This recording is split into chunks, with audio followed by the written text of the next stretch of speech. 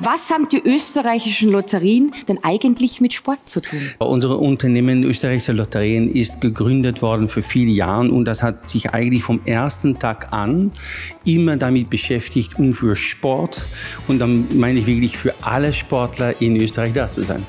Ähm, das hat sich natürlich in vielen Jahren aufgebaut. Äh, wir sind ein Partner von das Olympisches Komitee, das Paralympisches Komitee, auch vom ersten Tag an. Äh, wir sind ein Partner für Sporthilfe. Ich bin gleich auch selber im Vorstand. Also ich versuche auch selber persönlich einen kleinen Beitrag zu leisten. Du hast ja gerade die Heldinnen, die äh, Profis, die Vorbilder gesehen. Und wir sind mit Window.de im Eishockey, Basketball, äh, Beachvolleyball, Tischtennis, Tennis und American Football Hauptsponsor und machen es dort überall gleich. Mhm. Wenn wir einsteigen in einen Sport, unterstützen wir die Frauen, die Männer und die Behindertensportler in gleicher Art und Weise. Und wir haben ähm, das Trikot äh, mit den Window.de-Logos bei den Frauen, bei den Männern und bei den Behindertensportlern gleich. Wir haben dieselben Sponsorings. Wir haben beim Basketball zum Beispiel auch eine Plattform, wo man alles drei nebeneinander sieht. Das ist uns wichtig und wir glauben, das ist echtes Fairplay.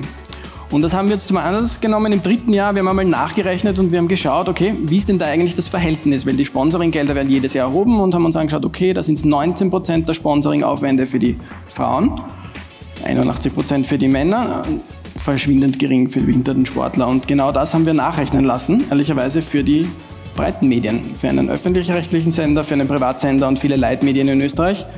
Und ähm, wenn man das dann anschaut, wie die Torte verteilt ist, ist ab morgen kein Frauensport mehr sichtbar in den Medien. Und ein wichtiger Punkt, auf den ich heute eingehen möchte, ist die Sichtbarkeit.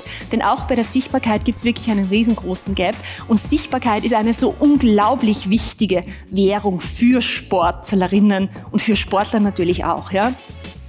Wir haben uns die aktuellen Zahlen äh, angesehen und hier äh, im Print Krone, Kurier, Standard, kleine Zeitung, zusätzlich in TV äh, Servus TV und äh, ORF 1 angesehen und wir kommen im Schnitt auf einen Wert von 19,1 Prozent Frauen in der Berichterstattung.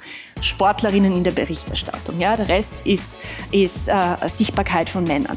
Wir haben eine ähnliche Untersuchung gemacht und ich gehe gleich ins Detail äh, und äh, schaue mir an, wie schaut es aus im TV. Da haben wir einen höheren Anteil, nämlich mit 21,3 Prozent Frauen und in den Printmedien mit 16,9 Prozent nur einen sehr, sehr niedrigen. Also es sind beide Werte eigentlich niedrig. Ja. Wir haben diese gleiche Untersuchungen für die Printmedien, ich habe es vorhin erwähnt, vor drei Jahren gemacht da lagen wir im Print noch bei 12 Prozent. Also es gibt hier eine Steigerung.